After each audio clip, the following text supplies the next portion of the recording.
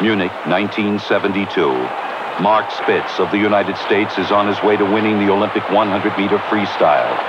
In one week, he swims in seven events, wins seven gold medals, and breaks seven world records.